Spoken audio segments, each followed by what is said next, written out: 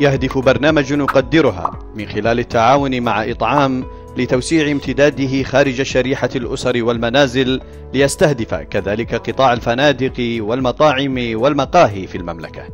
ويسعى الطرفان في هذه الشراكة لإحداث تغيير سلوكي ورفع مستوى الوعي وتمكين أصحاب الأعمال والموظفين في هذا القطاع.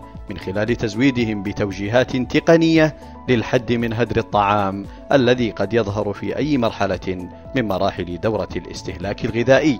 وتشتمل أوجه التعاون بين الجهتين على تدشين الدليل الإرشادي لإدارة الهدر الغذائي في قطاع الفنادق والمطاعم والمقاهي والذي تم بشراكة استراتيجية مع إطعام والغرفة التجارية الصناعية بجدة.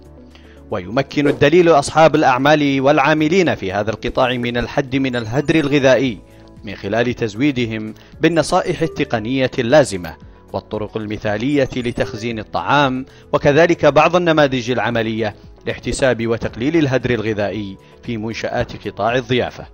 كما يدعم برنامج نقدرها توفير مليون حاوية لحفظ الطعام المتبقي من ولائم الفنادق والمناسبات. وذلك من خلال تعبئة بقايا الطعام تحت أفضل معايير الجودة والسلامة العالمية ومن ثم توزيعه على المستفيدين بشكل صحي ولائق.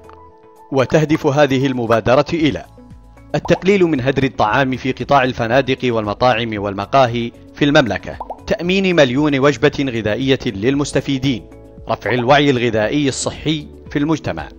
وسوف يتم توزيع العبوات الغذائية في كل من منطقة مكة المكرمة والرياض والمنطقة الشرقية.